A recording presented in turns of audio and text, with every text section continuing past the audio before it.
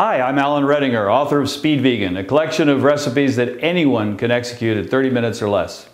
I'm going to show you a very simple and very delicious dish called tempeh with peanut sauce. Tempeh is a soy product. It's a fermented soy that they make in Indonesia. It comes in a cake. You can slice it, and then what I did in this recipe is fried it in coconut oil and gives it a nice crunch and a nice color, and then you dip it in the peanut sauce. You're going to love this. It's delicious. So I'm going to start by the most complicated part. This is very quick, but you have to understand if you haven't used lemongrass before, one of the ingredients, what it looks like is this when you buy it in the store, but you can't use it all. You have to peel off at least one layer, sometimes two, depending on how fibrous it is. And then you want to make sure you carve away the bottom part of the root so that you can see the, the rings. There we go. If you carve it at a slight angle, it won't roll off the board. Mmm, smell is incredible. All right, we're gonna put this in the blender.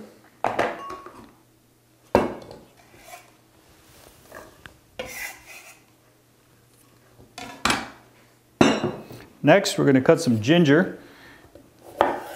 It's important to cut across the grain so that you don't wind up with a lot of fibers. So I'm going to do that quickly. As thinly as possible.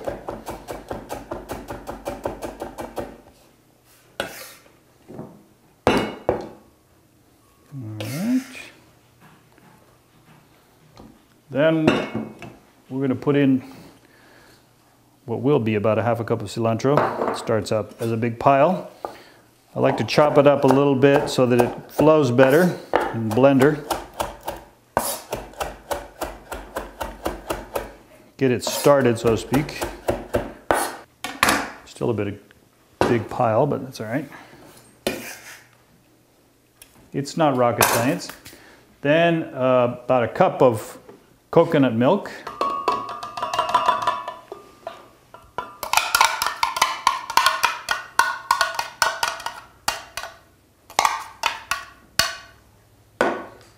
A tablespoon of agave nectar.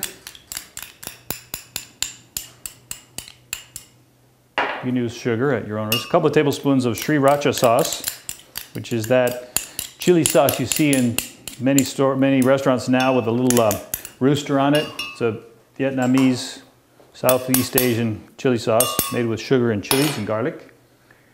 And then about a, yeah, about a quarter teaspoon of salt. I use Celtic salt and blast.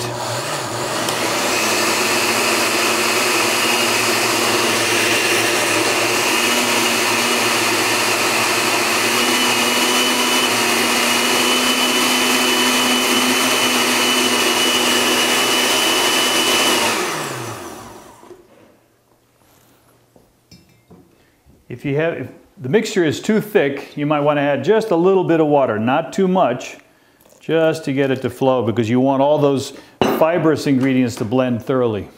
There we go.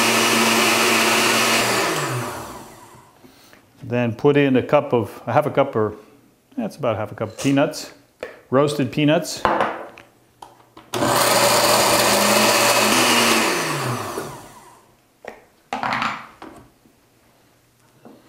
Poured into a little cup.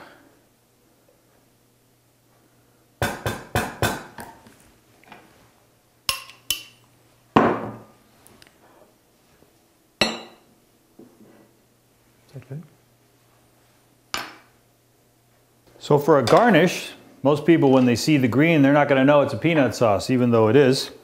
And you'll be able to taste the peanuts. But just to give them a shot of peanut, set their mind up for it few crumpled peanuts on top. Like that. Tempeh. If you're not familiar with it, like I wasn't when I started, uh, this is a fermented soybean product they make in Indonesia and Tennessee, I think. What I'm going to do is carve off the ends, cut some sticks. Nice thin little sticks. Now we're going to fry the tempeh sticks.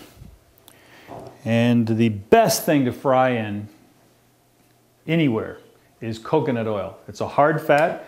It will not form trans fats no matter how high you heat it. And it has a fabulous flavor.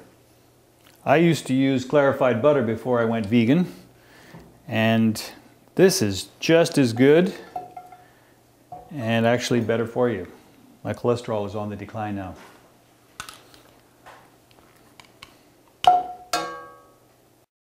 Once the oil is nice and hot, you can begin putting the tempeh strips in there.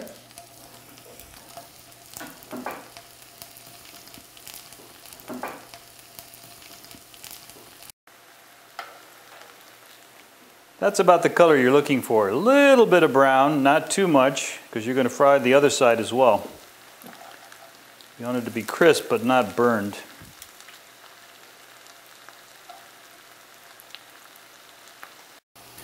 Okay, once they're nice and brown, take them out and drain them on a towel.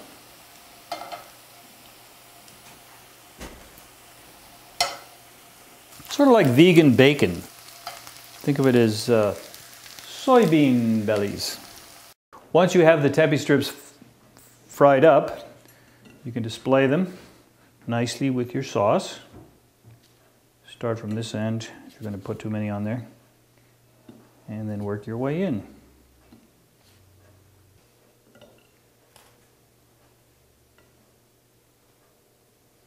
Party time! So I hope you've enjoyed watching this. You can get this recipe and many more in my book, Speed Vegan. The beauty of this book is you'll be able to make anything in 30 minutes or less, and it'll be beautiful, it'll be tasty, and even your non-vegan friends will love it. At the best bookstores in town. Look for it.